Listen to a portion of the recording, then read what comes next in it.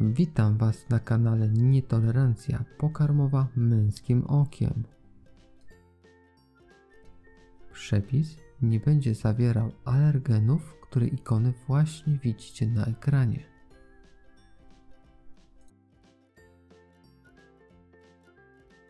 Podczas dzisiejszego wspólnego kuchcenia pokażę Wam, jak przygotować bezglutenową panierkę bez użycia jajek. Zapraszam do oglądania. Zanim zaczniemy, dajcie mi znać w komentarzach pod filmem, czy smakowała Wam bezglutenowa szarlotka z naszego ostatniego wspólnego kuchcenia. A teraz zajmijmy się naszą panierką, do której przygotowania będziemy potrzebowali pieprz cytrynowy, sól, zioła prowansalskie, płatki jaglane, mąka ryżowa oraz wodę. Sposób wykonania panierki pokażę na schawie wieprzowym oraz filecie z piersi kurczaka. Nasze kotlety rozbijamy i przyprawiamy je z obu stron z solą, pieprzem oraz ziołami prowansalskimi. Kotlety obtaczamy w mące ryżowej.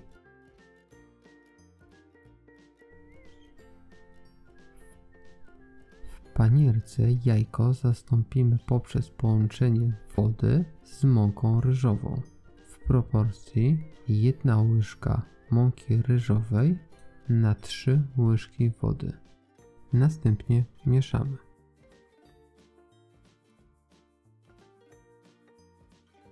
Zamiast tradycyjnej bułki tartej użyjemy płatków jaglanych. Kotlet zanurzamy we wcześniej przygotowanej wodzie z mąką. Następnie obtaczamy w płatkach jaglanych.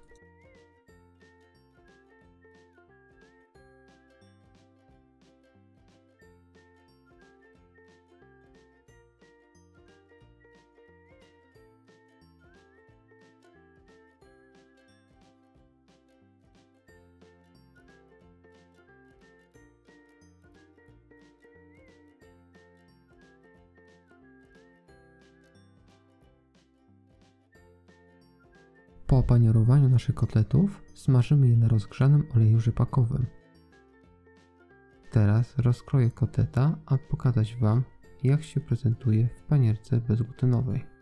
A Wy w jaki sposób panierujecie swoje kotlety? Dajcie mi znać w komentarzach. Jestem bardzo ciekawy Waszych patentów. Jeśli wypróbowaliście przepis i spodobał się Wam, Wrzućcie zdjęcie na Facebooka lub Instagrama z oznaczeniem mojego profilu. Dzięki temu będę mógł zobaczyć efekty waszego kuchcenia. Za tydzień podczas kolejnego wspólnego kuchcenia pokażę Wam przepis na bezglutenowy sernik wegański. Zapraszam serdecznie.